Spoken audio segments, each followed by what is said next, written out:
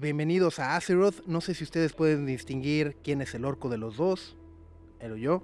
Pero bueno, estamos justo en el set de Warcraft, la película, la épica película que se estrena el próximo mes de junio, basada por supuesto en el videojuego de Blizzard, dirigida magistralmente por Duncan Jones. Y venimos a visitar el set y por supuesto a platicar con el elenco de este proyecto que ha llevado más de 10 años y que créanme, yo, sin ser fan, fan, fan de Warcraft, quedé completamente enamorado y sé que no los va a defraudar, porque más allá de ser una película de un videojuego, cuenta una gran historia que de alguna forma me parece también revela lo que ocurre hoy en día en el mundo y con nuestra sociedad. Así que vamos a ver qué nos dice el talento y el elenco y el director, por supuesto, Duncan Jones de Warcraft.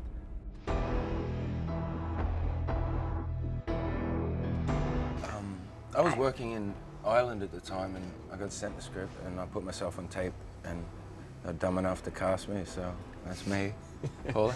I, they sent me the script and um, and I didn't know about the World of Warcraft, but I love the story and I love the character Garona.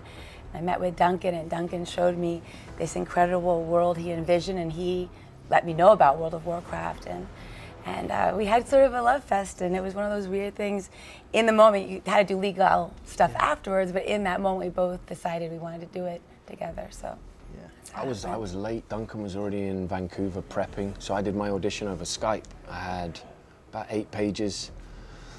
I'd figured out a voice. That's what I'd tried to do for Durotan, give him a sort of earthy feeling to his voice, because I was hoping they would adapt it, because I can't make my voice Morgan Freeman low. I just can't do it. So. Okay.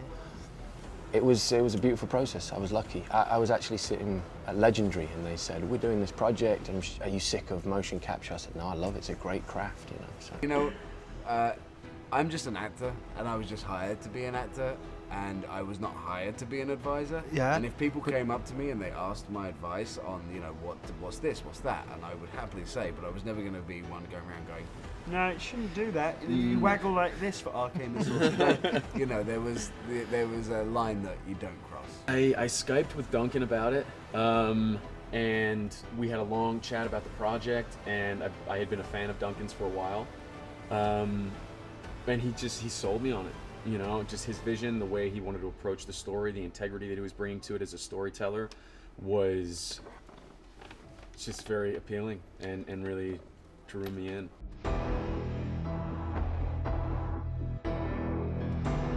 Uh, working working at uh, it was called Elixir Studios and it was in London and it was uh, it was wonderful and I met some amazing people who who actually some of whom ended up working with me on my first film Moon. Okay. Uh, Gavin Rothery who did the uh, concept artwork and helped me build the set design and everything for Moon was was was um, was something someone I met there. Um, but I, you know I have a I have a huge fascination and respect um, for what people do making games because um, it's interesting. They're very much like they're very much like brother brother professions, filmmaking and game design. You know, one is about trying to find a way to entertain the audience by giving them as much freedom as possible, yeah. and the other is about entertaining the audience by making them absolutely look at exactly what you want them to look at.